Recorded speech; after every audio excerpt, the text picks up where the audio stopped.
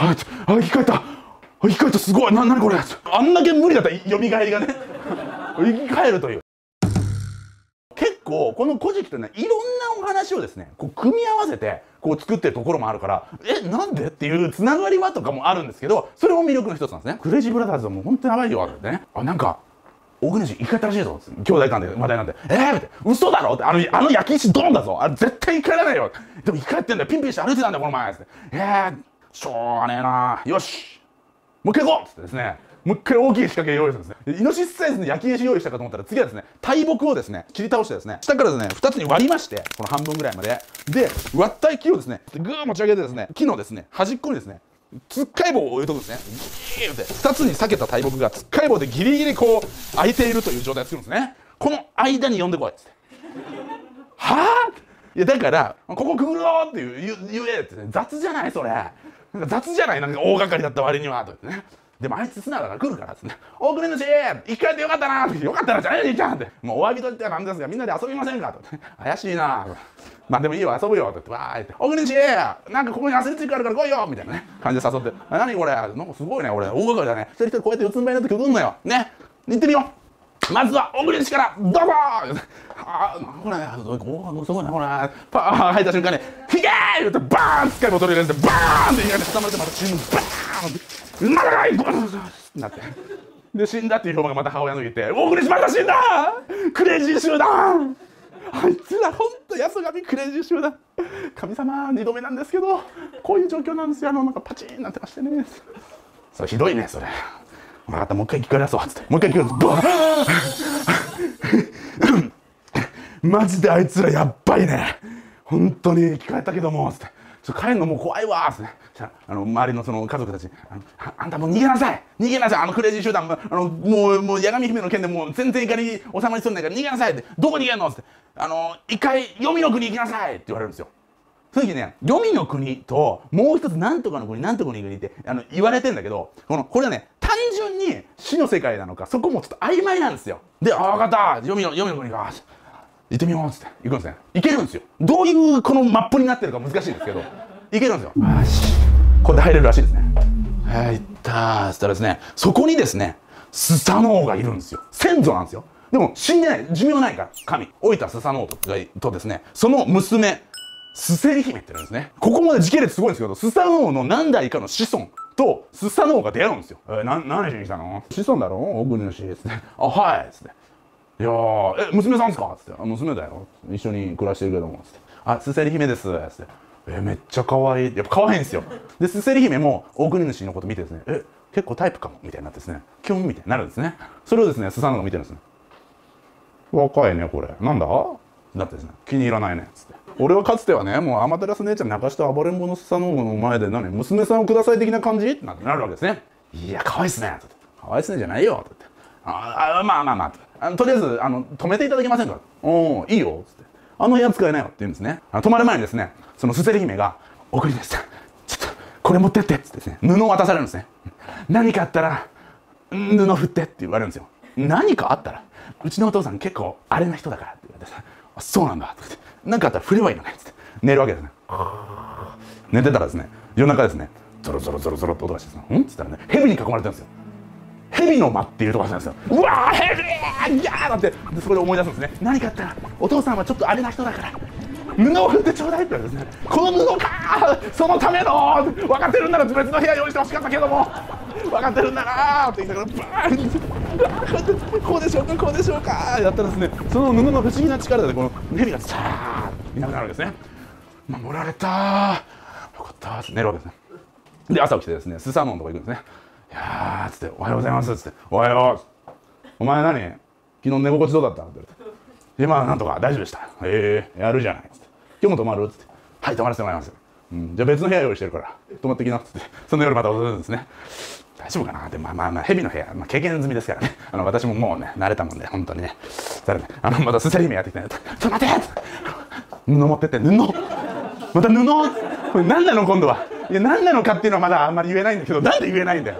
ね、言ってくれよ。なんで言えないんだよ。でもちょっとうちのお父さんあれだから。あれだの分かったけども止まるけども寝る時にですね寝たら今度はですねムカデとですね蜂が来るんですね。ムカデと蜂がやっぱりもう来るな。違う違う違う違う違う違う違うバーンだけなんですね。助かったこれ何なの？これとそれ。このどどういう仕組みになってるのか分かんないけど寝ます。でまた「おはようございます」って言ったらスザノが「寝心地どうだった?」って「なんとかなりました」もうやるねお前。へえ。分かった。じゃあちょっと遊び行こう。あなんすか？って。じゃあちょっとよあの草っぱらあるだろ？な？俺は弓矢話してよ。ピュッ。ピュッ。おい。弓矢あそこまで行っただろ？な？お前頭いいんだったらさそれはどこに落ちたかって計算できるわけだからちょっと取ってこいよ。っつって。え？弓矢ですか？草っぱらがちょっと高くて分かんないですけど。じゃあ行ってきますわ。どれぐらいの時間取ってくれるか勝負だから。もう行ってこい行ってこい。っつって。はい。っつって。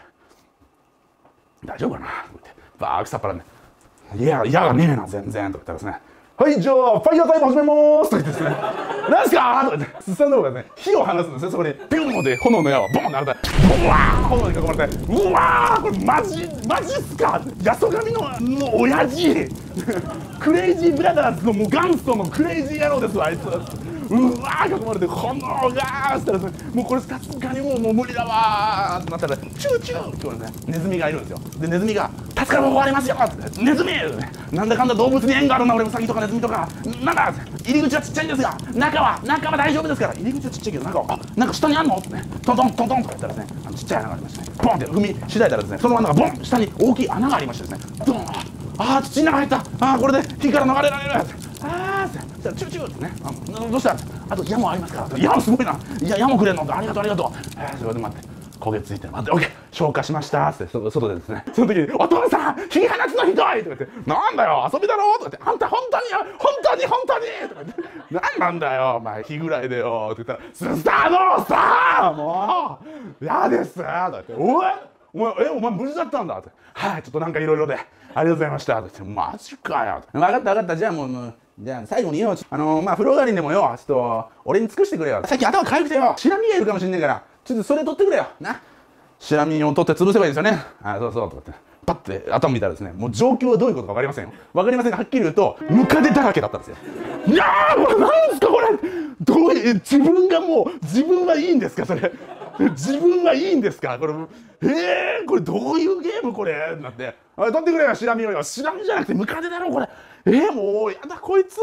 なってた時にですね、ステリーが来てですね、ちょちょちょちょちょ、これあげる、これあげる。って、なになに木の実、木の実と土、ね、木の実を噛みつぶして、で、土含んで、ペーってやって、ムカデ取ってるふりしてって言って、あ、ふりでいいんだっつって、木の実と土を口に入れて、ねプチーン落として、ペーってね、プチーンペーってやったら、おー、やるねっつってですね、あ、あ、お前もなかなかもう肝玉座ってんねっつって。えー、ムカデ潰してペッて吐いて。なかなかやるじゃない大胆なやつじゃない。俺そういうの悪くない。やんちゃで鳴らしてるからね。もともと展開にいたんだけどさいろいろあって近い地上からそれから今読みだからね。読みすさんのだからね。よろしくね。ありがとうね。やってんねやってんね。とか言ってる間にですねこう眠くなってすさんのを寝たんですね。あ、寝たみたいな。すせり姫ちゃん、ちょっと俺と一緒に逃げようって。私もそれに賛成みたいな。なんか武器とか大事なものとかある。なじゃあね、弓と剣と、あとなんか琴があるから、それ持って逃げよう、これ、あの、貴重品だから。でもこれ目覚めたらすぐに追っかけられても、もうとんでもない目合わされてね。うん、どうしようどうしようって。スサノオのですね、髪長いからって。この髪を全部柱にあの結びつけておこうですね。いろんな柱にですね。髪の毛をですね、全部結びつけてですね。よし、よし、よし、髪結びつけたね。逃げようってバーン逃げるんですね。そしたらですね、スセリ姫が途中で琴を落としちゃうんですよ。この琴ってのはまさ神の琴なんです。っごい大きい音が鳴るんですって。で逃げてる途中に「あーガーガーごめんなさい」とか言ってねことがガーンなってことがビョーンとかなるわけですよ。その音がすごいでかいからスサノが起きるんですね。あーんとか言って。ななんでこと外の外で？外で琴の音が？なんだ？ん？いた！髪グーなってる。これどういうやつ？どういう仕返しやってくれるじゃない？グングングンはい柱抜きました。追いかけまーすって。スサノが追いかけるんですね。あスサノさん来てるよちょっと！とか言って。逃げよう逃げよう。もうこと落とさないでよ姫ちゃん！とか言ってわー言って。はいお送りお送りなさいっつって。言ってですねあの遠くから叫んでくるんですねなんすかもう怖いなーっつったらスサノがですねお前これからお前娘大事にしろよ。あと出雲お前が治めろって言うんですよ最後。最後ちょっといいやつなんですよ。結構かっけえかもみたいな。実はその大国主っていうのはその時そいつが名付けてくださいお前これから大国主って名乗っていいからっていうですね。それまで違う名前だね。で大国主って名前と嫁と武器もらってそして出雲に戻ると。そして大国主が国づくりっていうの始めますね。それ出雲でですね国を作るわけですよ。わあいろんなことあったなって国作りました。わあなって。で繁栄していくんですよ。この大国主のね出雲の国が。いい国になったじゃないかとか言ってる時に展開でですねアマテラスが動き出すんですね。8年ですよ。長くない？それまでのやつとは桁違いの資格。大国主の息子 VS アマテラスのその直属の部下がね戦うといきなり氷に変わるんですね。ビュンってね。何これ？何これ？怖い氷になった。ビュンビュンって。